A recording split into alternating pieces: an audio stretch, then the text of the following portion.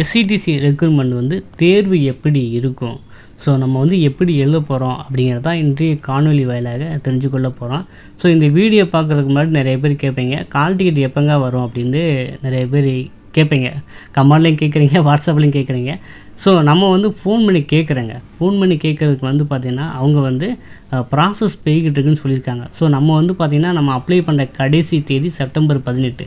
So இன்றைக்கி வரைக்கும் பார்த்தோன்னா ஒரு மாதம் தான் ஆகிருக்கு நம்ம அப்ளை பண்ணி முடித்து ஒரு மாதம் தான் ஆகிருக்கு நமக்கு வந்து பார்த்திங்கன்னா குறைஞ்சது ரெண்டு மாதம் எடுத்துக்குவாங்க. ஏன்னா வந்து மொத்தம் பன்னெண்டாயிரம் பேர் வந்து இந்த பணிக்கு வந்து விண்ணப்பிச்சிருக்காங்க.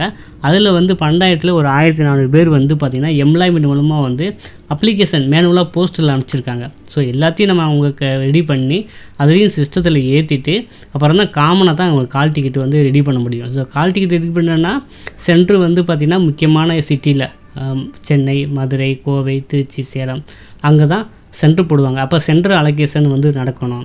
அப்புறம் ஸ்கூலாக காலேஜாக வந்து அவங்க ஒதுக்கணும். அதுக்கப்புறம் வந்து கால் டிக்கெட் வந்து ப்ராப்பராக இஷ்யூ பண்ணணும். ஸோ இந்த மாதிரி வந்து வேலை வந்து குறைஞ்ச ரெண்டு மாதம் ஆயிருக்கும். நம்ம அப்ளை பண்ணியே ஒரு மாதம் தான் ஆகுது. அதனால் வந்து கொஞ்சம் வெயிட் பண்ணுங்கள் சரிங்களா? உங்களுக்கு படிக்கிறதுக்கான டைம் கிடச்சிருக்கு அப்படின்னு சந்தோஷப்பட்டுக்கிறவங்க நம்ம வந்து பார்த்திங்கன்னா வீக்லி ஒன்ஸும் அங்கே ஃபோன் பண்ணி கேட்டுறோம் ஸோ அந்த சைட்டில் இருக்கிற ஃபோன் நம்பர் கேட்டால் அவங்க இதே பதில் தான் சொல்கிறாங்க கால் டிக்கெட் வரதை நம்ம எப்படி தெரிஞ்சுக்கிறது? நான் கேட்டதுக்கு வந்து அவங்க என்ன சொல்லியிருக்காங்க அப்படின்னா உங்களுக்கு வந்து மெயில்லையோ இல்லது ஃபோன்லேயோ எஸ்எம்எஸ் அனுப்புவாங்க. அதை பார்த்தோன்னே நீங்கள் கால் டிக்கெட் டவுன்லோட் பண்ணால் தான் சொல்லியிருக்காங்க. சரிங்களா ஸோ நானும் ஒவ்வொரு வீடியோவிலும் நான் சொல்லிட்டு தான் வரேன். ஸோ நீங்களும் கொஞ்சம் ஃபாலோ பண்ணவங்களுக்கு உங்களுக்கு ஹெல்ப்ஃபுல்லாக இருக்கும். இப்போ வந்து பார்த்திங்கன்னா நம்ம தேர்வு வெளில போகிறோம் அந்த தேர்வு வந்து எந்த மாதிரி இருக்கும்? இப்போ நிறைய பேர் வந்து பார்த்திங்கன்னா புதுசாக இப்போ தான் எக்ஸாம் எழுத போகிறவங்களா இருப்பாங்க. அதுக்கான வழிமுறைகள் என்னென்னு சொல்லிடுறேன் உங்களுக்கு கொஞ்சம் பழகிக்கலாம். ஓகேவா ஸோ நம்ம தேர்வு வந்து பார்த்திங்கன்னா ஓஎம்ஆர் சீட்டில் இருக்கோங்க. சரிங்களா அதாவது கொஸ்டின் புக்லெட் வந்து உங்களுக்கு தனியாக கொடுத்துருவாங்க. ஸோ கொஸ்டின்ஸ் எல்லாமே செட்டாக வந்து ஒரு புக்லெட் மாதிரி வந்துடும் அப்புறம் ஓஎம்ஆர் சீட்டுன்னு தனியாக கொடுப்பாங்க. சரிங்களா? ஸோ அதில் வந்து பார்த்திங்கன்னா ஏபிசிடிஇ e அப்படின்னு அஞ்சு ஆப்ஷன்ஸ் இருக்கும்.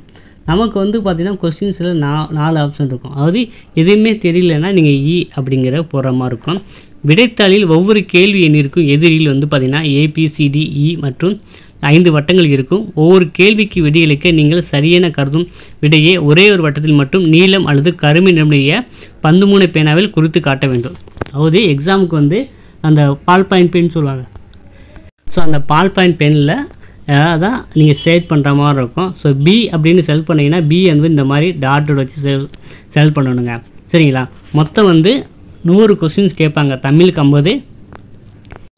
அது ஜிகே போ போக்குவரத்து சிக்னலு அப்புறம் டிராஃபிக் ரூல்ஸ் இதெல்லாம் சேர்த்து ஐம்பது கொஸ்டின் மொத்தம் நூறு கொஸ்டின் ஒன்றரை மணி நேரம் நடக்குங்க. சரிங்களா?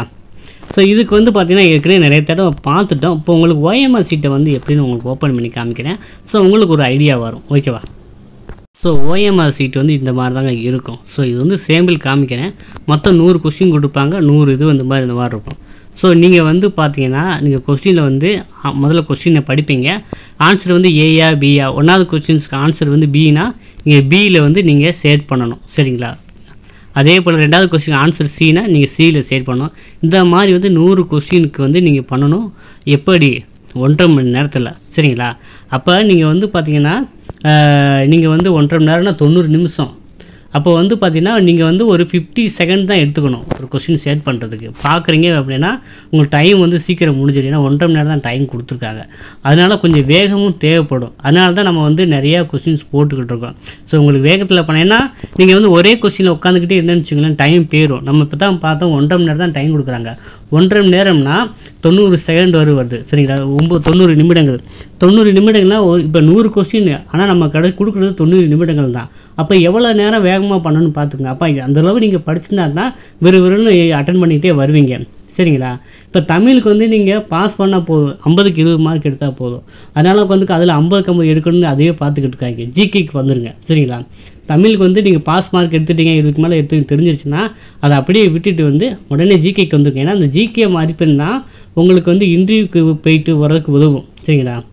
இன்டர்வியூக்கு வந்து போகிறதுக்கு உதவும். அதே போல் வந்து உங்களுக்கு ஃபைனல் கட் ஆஃப்லேயும் இந்த ஜிகே மதிப்பெண் தான் உங்களுக்கு வந்து கை கொடுக்கும். ஸோ அதனால் வந்து தமிழ்லேயே உங்கள் உட்காந்துக்கிட்டு இருக்காம தமிழில் வேகமாக முடிச்சுட்டு உடனே இதுக்கு வந்துடணும். சரிங்களா? இப்போ வந்து நம்ம தொண்ணூறு நிமிஷம் அப்படின்னா இருபது நிமிஷத்தில் வந்து தமிழில் முடிச்சிடணும். கடை கடன்னு ஐம்பது கொஸ்டின் அடிச்சுட்டு மற்ற நிமிஷத்துக்கு நீங்கள் ஒதுக்குனீங்கன்னா நல்ல மார்க் எடுத்துகிட்டு நீங்கள் வேலை வாய்ப்பை ரெண்டாயிரத்தி இருபத்தி நாலே பெற்றுலாம் சரிங்களா? ஸோ அந்த மாதிரி வந்து கொஞ்சம் வேகம் வர மாதிரி பார்த்துக்கோங்க. ஸோ அதுக்கு தான் நம்ம வந்து ஸ்டடி மெட்டீரியல் வாங்குறவங்களுக்கு நம்ம ஆன்லைன் டெஸ்ட்டும் ப்ரொவைட் பண்ணுறோம் ஸோ நீங்கள் ஒன்றுமே பண்ணாமல் வந்து திடுதிப்புன்னு போய் எக்ஸாம் பேப்பர் பார்த்தீங்கன்னா அந்த பயத்திலே பாதி நேரம் ஓடிடும் ஸோ அதனால் படிங்க. படித்தா தான் எது விடணும் விடக்கூடாதுன்னு கூட நமக்கு ஒரு அவேர்னஸ் வரும். டெய்லி ஒன் ஹவர் டூ ஹவர்னாச்சும் படிங்க. ஸோ நம்ம வந்து ஸ்டடி மெட்டீரியல் வாங்குறதுக்கு ஆன்லைன் டெஸ்ட்டு மாடல் டெஸ்ட்லாம் இதே போல் வைக்க போகிறோம் அதுவும் உங்களுக்கு ஹெல்ப்ஃபுல்லாக இருக்கும். ஸ்டடி மெட்டீரியல் வேணுங்கிறத வாங்கி யூட்டிலைஸ் பண்ணிக்கலாம். ஸோ நம்ம வந்து பார்த்திங்கன்னா இப்போ ஜிகே ஓரளவு பார்த்துருக்கோம் அப்புறம் நாளையிலேருந்து பார்த்திங்கன்னா முதலுதவி பற்றி மறுபடியும் கிளாஸஸ் வரும். அதாவது அதே போல் மேக்ஸிமம் கிளாஸஸ் வரும். சரிங்களா? நமக்கு தொண்ணூறு நிமிடங்கள் நூறு கொஷின் அட்டன் பண்ணோம் ஸோ அந்த ஒரு ஈக படிக்கிறங்க ஸோ நமக்கு வந்து இப்போ டிலே தள்ளி வைக்கிறாங்கன்னா நம்ம படிக்கிறதுக்கான நேரம்னு அதை எடுத்துகிட்டு நீங்கள் படிக்க ஆரம்பிக்கிறது சால சிறந்ததாக இருக்கும். ஸோ நம்ம சேனலை புதுசாக பார்க்குறவங்க எல்லாரும் சப்ஸ்கிரைப் பண்ணி வச்சுக்கோங்க. ஏன்னா நம்ம ஒரு சேனல் மட்டும்தான் எஸ்சிடிசிக்கு அப்டேட்டுக்கு வந்து கொடுத்துட்டே வரோம். அதனால் வந்து புதுசாக பார்க்குறவங்க சப்ஸ்கிரைப் பண்ணி வச்சுருங்க. நம்ம வந்து அடுத்த காணொலியை நம்ம மீண்டும் சந்திப்போம். ஸோ இந்த வீடியோ வந்து உங்களுக்கு ஹெல்ப்ஃபுல்லாக இருந்துச்சுன்னா மறக்காமல் லைக் பண்ணுங்கள் அப்படின்னா தான் எனக்கு மற்ற அடுத்த வீடியோ நம்ம க்ரியேட் பண்ணுறதுக்கு ரொம்ப ஒரு உந்துதலாக இருக்கும். ஸோ